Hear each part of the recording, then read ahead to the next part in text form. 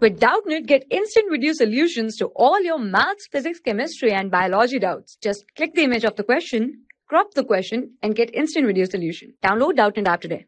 Here we have a question from the chapter Waves. A tuning fork with a sonometer having 20 cm wire produces 5 beats per second. The beat frequency does not change if the length of the wire is changed to 21 cm.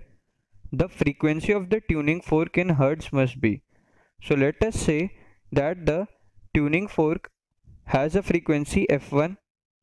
So initially with 20 centimeter wire it was creating 5 beats per second. So if the initial frequency was fi of the sonometer wire and let us assume fi fi was greater than f1 so fi minus f1 equals to 5 beats per second now what we are doing we are increasing the length of the wire. So if the in we know that frequency is given by v by 2l under root t by mu so the frequency is inversely proportional to length.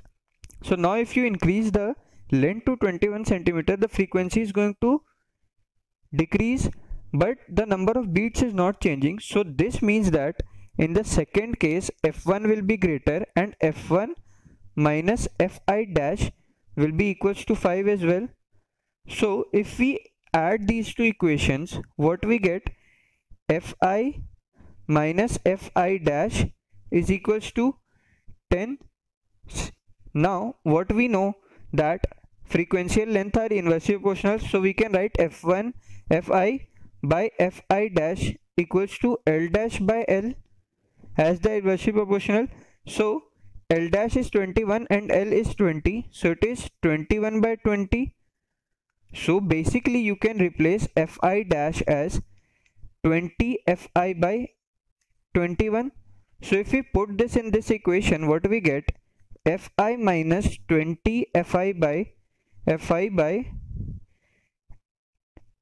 21 is equals to 10 so it will become 21 minus 20 divided by basically it becomes 21 minus 20 that is 1 so fi by 21 equals to 10 so from here fi comes out as 210 hertz. So now we have found out the fi but in the question what we have been asked we have to find out the frequency of tuning fork that is f1 so from the first equation fi fi minus f1 equals to 5 so 210 minus f1 equals to 5 so from here f1 comes out as 205 hertz so the tuning fork frequency that we were using will be 205 Hz and it is same as the option C. So our option C is the right answer.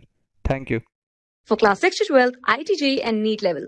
Trusted by more than 5 crore students. Download Doubtnut app today.